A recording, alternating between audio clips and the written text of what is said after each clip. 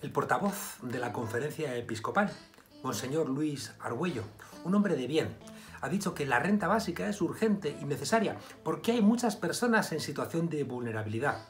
Pero ha añadido, no debería ser un subsidio permanente, porque se podría convertir en una coartada para retirar a las personas del empleo. Coincide ahí seguramente con la derecha de que los subsidios a la iglesia sean permanentes y se convierta en una coartada para retirar a los curas del empleo, de eso no ha dicho nada, la derecha tampoco. Los que hemos estudiado en colegios de curas siempre se nos ha quedado la sensación de que no, no sé, de que no terminábamos de entender lo que nos querían decir, porque querían decirnos algo que no terminaban de decirnos.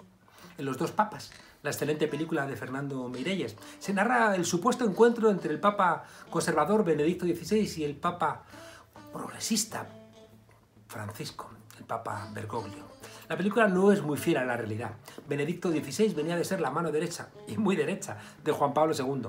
Un papa para el que su anticomunismo pesaba más que el cuidado de sus sacerdotes perseguidos, a los que muchas veces dejó abandonados. Un papa que ocultó la pederastia de la iglesia, y que apuntaló a los sectores más conservadores, sacando del magisterio a verdaderos santos como Leonardo Boff o Ernesto Cardenal. Al tiempo, olvidaba a mártires como el padre Ellacuría. Bergoglio, ya desde la elección del nombre Papa Francisco, volvía a recuperar la apuesta por la Iglesia de los pobres que intentó Juan XXIII, el Papa Bueno, en el Concilio Vaticano II. Lo importante de la película, que inventa mucho, no es tanto si lo que narra se acerca a la verdad, como la existencia en nuestro siglo de dos grandes almas dentro de la Iglesia Católica que están en todos nuestros países, una Iglesia renovadora y otra profundamente conservadora. La película es más amable con Ratzinger que con Bergoglio, porque el Papa Benedicto XVI tiene más impiedad que ocultar bajo el solideo y amarrada por los 33 botones de la blanca sotana. Sí, se nos narra que Bergoglio es probable que no hiciera todo lo que debiera haber hecho un buen cristiano, y menos un sacerdote bajo la dictadura militar de Videla.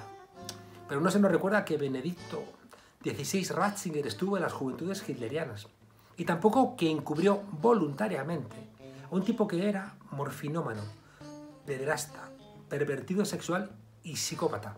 Un cura que fue el fundador de los legionarios de Cristo, el padre Marcial, Maciel, mexicano pero con mucha influencia en España. El Papa Francisco, que sabe que muchos millones de seres humanos no pueden comer nada, ni ellos ni sus familias, si se quedan en sus casas confinados, porque viven al día con lo que ganan en las calles. Ha hecho todo esto que el Papa Francisco apueste sin dudas por esa renta vital mínima. Porque no sabemos qué va a pasar con la robotización de la economía, tampoco con el cambio climático. Sabemos que no queremos que las mujeres sigan haciendo gratis el trabajo de cuidados. No van a parar las migraciones. Y no sabemos qué va a ser económicamente de millones de personas el día después del confinamiento. La parte más cruel de la derecha ya ha dicho que está en contra de una renta mínima. Incluso han hecho una campaña para reírse de ella y la han llamado paguita. Es decir, eso que los padres dan a los hijos para que les dejen en paz y se compren unos refrescos, unas chucherías. Aquí no son refrescos y chucherías, esa paguita es para vivir pero la derecha se ríe. Termina Luis Argüello diciendo que hay que evitar que la renta mínima le haga el juego al capitalismo internacional que descarta a las personas. Y es verdad que está en las intenciones de ese capitalismo internacional desconocer a la gente que no es ni consumidora ni, ni productora. Pero padre, no. La renta mínima lo que hace es darle dignidad y fuerza a las personas para que el capitalismo internacional no descarte a las personas a las que les ofrece un salario de hambre o la nada. Aunque, aunque quizá para entenderlo, padre, hay que dejar de escuchar a la COPE. Y por cierto, si quiere ayudar, como ha afirmado, y creo que con buen corazón, en la lucha contra el COVID-19, no se lo quite a las parroquias. Quíteselo a Carlos Herrera, o a la COPE, o a 13TV, que reciben más dinero del que le dan a Cáritas.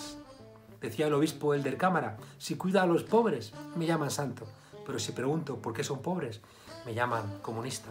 En estos tiempos, padre, quizá es más interesante volver a escuchar a los teólogos de la liberación. Bienvenidos a la frontera de los